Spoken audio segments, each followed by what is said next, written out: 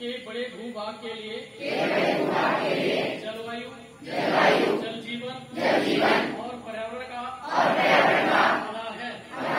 इसके गगनचुंबी शिखर हमें नई ऊंचाई छूने की प्रेरणा देते हैं।